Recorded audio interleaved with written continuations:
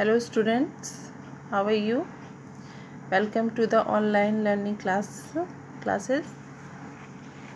Today yesterday i taught you the some exercises of chapter 2 these are choose the correct answer okay? And fill fill ups fill in the blanks. And also question question 1 okay? तो ये तीन exercises मैंने आपको कल कराई थी, जिसमें कि एक वर्ड मीनिंग आपका था एंड मैच द फॉलोइंग था। फिर choose the correct answer choose the correct answer है मैंने क्या कहा था कि जो भी राइट right आंसर है, वही मैंने लिखा है और उसके आगे मैंने टिक लगा दिया है। ठीक है? आपको ऑप्शंस नहीं लिखने मैंने ऑप्शंस नहीं लिख पाए हैं। ओके तो हमारे ये क्वेश्चन नंबर टू था choose the correct answer then third is fill in the blanks और क्वेश्चन आंसर क्वेश्चन आंसर में मैंने क्वेश्चन वन आपका करा दिया था. Now let start question number second what were the people of Hamelin fed up with Hamelin की जो जनता थी वो किस चीज़ से फेड अप थी? क्वेश्चन क्या है आपका? What were the people of Hamelin fed up with किस चीज़ से फेड अप थी? The people of Hamelin fed up with the rats they causes, they cause havoc to the people. There they eat their food, tear their clothes and bite their children. जो जनता थी Hamelin की, वो किस चीज़ से fed up थी? वो fed up with the rats rat से बहुत ही ज़्यादा वहाँ बहुत ही संख्या में रैट्स थे, उससे फेडअप थी. दे कॉज हैवा वो बहुत भयभीत थे. क्यों? क्योंकि वो जो रैट्स थे, वो उनके फ़ूड को खा जाते थे। टीयर्स देयर क्लोथ उनके कपड़ों को फाड़ देते थे। एंड बाइट द चिल्ड्रन और उनके बच्चों को काट भी लेते थे। गॉट इट समझ में आया ये question answer okay so now question number third question third to whom did the people of Hamlin go to get their problem solve question third क्या है? To whom did the people of Hamelin go to get their problem solve Hamelin की जो जनता है, वो अपनी जो इस प्रॉब्लम है, उनकी जो रैट की, वो उसको सॉल्व करने के लिए किसके पास जाते हैं? हम्म? आंसर क्या है?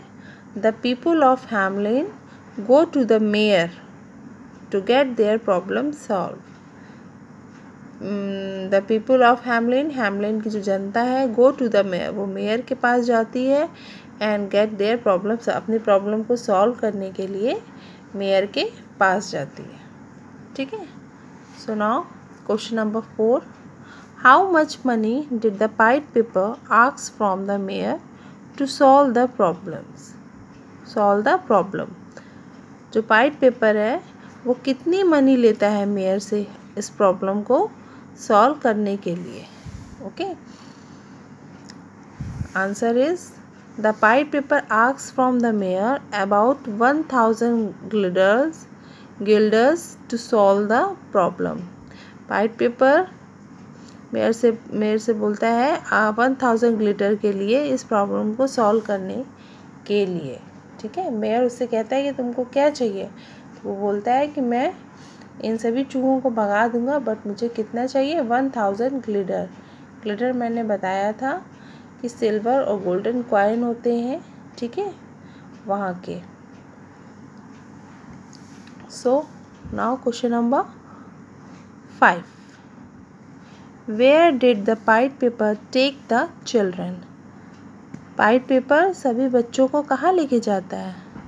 सभी बच्चों को जो वो मैजिकल पाइप अपनी बजाता है तो सब बच्चे उसके पीछे पीछे आते हैं। तो यही क्वेश्चन है इसमें आपका कि where did the Pied Piper take the children कहाँ लेके जाता है बच्चों को? आंसर क्या है? The Pied Piper took the children to the caves and trap them behind the big rock Pied Piper बच्चों को एक गुफा में ले जाता है एंड ट्रैप और उसी गुफा में एक बड़े से चट्टान के पीछे उनको बंद कर देता है।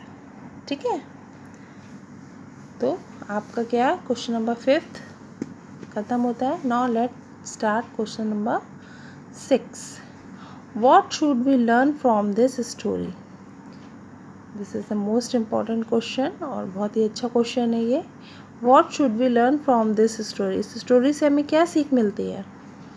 So answer is We learn from this story that one should always keep one's promise and a false promise makes a man untrustworthy. Untrustworthy means बेईमान okay?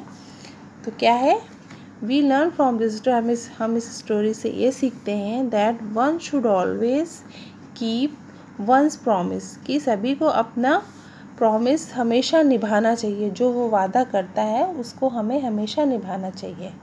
And false promise make make a person untrustworthy और गलत किया गया वादा व्यक्ति को बेईमान दिखाता है।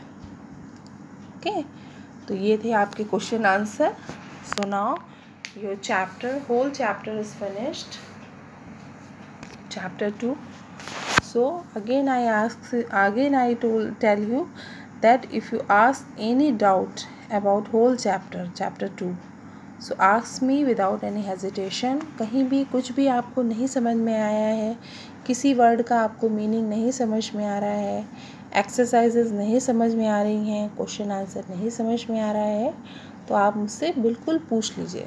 मैं बार बार बोलती हूँ एक एक चैप्टर एक एक लाइन में अच्छे से क्लियर करती हूँ बट फिर भी आपको नहीं समझ में आ रहा है तो आप इसको करिए अच्छे से। समझिए और मुझसे पूछिए। और क्वेश्चन आंसर बहुत ही neat and clean handwriting में करिएगा। कोई स्पेलिंग मिस्टेक ना हो ये कोशिश करिएगा। ठीक है? और ज़्यादा जा, अपनी राइटिंग में मतलब वो नहीं वो मत करा करिए इसको काटिए मत। बहुत ही साफ़ सुथरी राइटिंग लिखिए। ठीक है? So try. And now again I tell you that your chapter 2 is finished. Whole. So if you ask any doubt any query so ask me.